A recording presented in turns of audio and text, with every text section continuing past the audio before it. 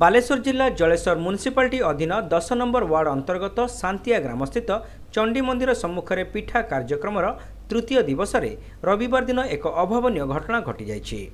ଏହି କାର୍ଯ୍ୟକ୍ରମରେ ସାମିଲ ହୋଇଥିବା ବିଭିନ୍ନ ଏସ୍ଏଚ୍ଜି ମହିଳା ଏବଂ ଅନ୍ୟ ହିତାଧିକାରୀମାନଙ୍କୁ ବାସି ଖାଦ୍ୟ ପରିବେଷଣକୁ ନେଇ ତୁମୁଳ କାଣ୍ଡ ହୋଇଥିଲା। ଗତ ଦୁଇ ଦିନ ଧରି ଉକ୍ତ କାର୍ଯ୍ୟକ୍ରମରେ ପରିବେଷଣ କରାଯାଉଥିବା ବଳକା ଭାତ ଏବଂ ଡାଲମାକୁ ରବିବାର ଦିନ ପୁଣି ପରିବେଷଣ କରାଯାଉଥିବାରୁ ହିତାଧିକାରୀ ଏବଂ ମହିଳାମାନେ ଖାଦ୍ୟ ବୋଝେଇ ଅଟୋକୁ ଦୀର୍ଘ ସମୟ ଧରି ଅଟକାଇ ରାସ୍ତାରେ ଧାରଣା ଦେଇଥିଲେ। ଏହା ସହିତ ମ୍ୟୁନିସିପାଲିଟିରେ କାର୍ଯ୍ୟରତ ସିଓ ବା ଗୋଷ୍ଠୀ ସଂଯୋଜିକା ଜ୍ୟୋତ୍ସ୍ନାରାଣୀ ପତିଙ୍କୁ ମଧ୍ୟ ମହିଳାମାନେ ଘେରିଯାଇ ପ୍ରଶ୍ନବାଣରେ ଜର୍ଜରିତ କରିଥିଲେ। ବିଜୁ ଜନତା ଦଳର ଯୁବନେତା ଶୁଭେନ୍ଦୁ ଦାସ ରିଣ୍ଟୁ ବ୍ରହ୍ମ ମହିଳା ନେତ୍ରୀ ଦେବଯାନୀ ଅଣ୍ଡିଆ ଗ୍ରୁପ୍ ସଦସ୍ୟା ଉର୍ମିଳା ଦତ୍ତ ଏବଂ ଅନ୍ୟମାନେ ଅଭିଯୋଗ କରିଥିଲେ। ପରିସ୍ଥିତି ଉତ୍ତେଜନାପୂର୍ଣ୍ଣ ଦେଖି ଜଳେଶ୍ୱର ଆଇଆଇସିଙ୍କ ନିର୍ଦ୍ଦେଶକ୍ରମେ ଏସ୍ଆଇ ସଦାଶିବ ନାୟକ ଏବଂ ଅନ୍ୟ କର୍ମଚାରୀମାନେ କାର୍ଯ୍ୟକ୍ରମ ସ୍ଥଳରେ ପହଞ୍ଚି ପରିସ୍ଥିତିକୁ ନିୟନ୍ତ୍ରଣ କରିଥିଲେ।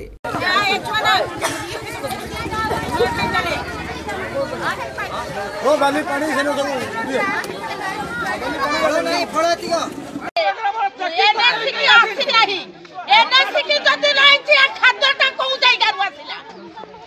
জায়গার ওয়াসিলা এনে শিখিত দিন আসু শিখিছি কালি কইকি যাইলে সিও ম্যাডাম যে আজি ভালো আইটেম দেবে কিন্তু আজি বি সেই ডালমা ভাত কালি ছাড়ি দেলে আজি সেইটা শুনিকি আজি বি অটকিলে সেই সেই একা প্রবলেম সেই কথা ଯଦି ନ ଛାଡେ ମୋ ମୋ କାମ ମୁଁ କରିବି। ବାସ୍। ଆପଣ ଗାଡି ଛାଡିବା ପାଇଁ ସେ ଆଉ ଆଉ କାହାକୁ ଯିବ ନା ଖାଦ୍ୟଟା ଦେବାକୁ? ସେ ନଷ୍ଟ ହବ। ସେ ରେସ୍ପନ୍ସିବିଲିଟି ଆପଣ ନେବେ ବିଡି ସାରଙ୍କୁ ଟିକେ ଆଣିବା ଦରକାର। ବିଡି ସାରଙ୍କୁ ଆଣିବା ଦରକାର। ଖାଦ୍ୟଟା ଦଉଛନ୍ତି ଆମେ ବୁଝିବା। ଖାଦ୍ୟ ନେଇକି ପଡ଼ିବା ଆମେ ଇଚ୍ଛା ହେଲେ ନେଇପାରେ ନହେଲେ